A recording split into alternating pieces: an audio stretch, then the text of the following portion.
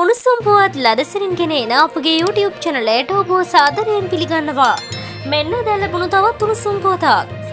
හෙටට යෙදී ඇති පොසුම් පොහය නිමිත්තෙන් අනුරාධපුරයට විශේෂ ආරක්ෂාවක් පොලිසිය යොදවා තිබෙනවා. ඒ අනුව පොසුන් සතිය තුළ අනුරාධපුර ජයශ්‍රී මහා බෝසමිඳු ඇතුළු අටමස්ථානය මිහින්තලේ තන්තිරි මලේ සහ අනිකුත් වැදගත් පූජනය ස්ථානවලට හා බැතිමතුන් ඇතුළු මහත් ජනතාවට ආරක්ෂාව සැපීම සඳහා විශේෂ කලාපවලට වෙන් කර පොලිස් නිලධාරින් දෙදහස් පන්සියකට වැඩි ප්‍රමාණයක් යොදව ඇති බව පොලිසිය සඳහන් කළා.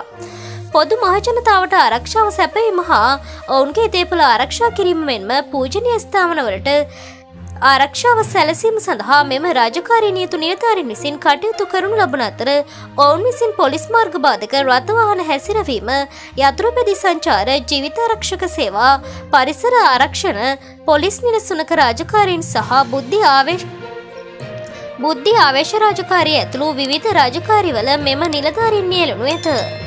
මෙවැනි උණුසුම් පුවත් ලදසරින් දැන ගැනීමට අපගේ YouTube චනලය සබස්ක්‍රයිබ් කර බෙල් අයිකනය ක්‍රියාත්මක කරන්න.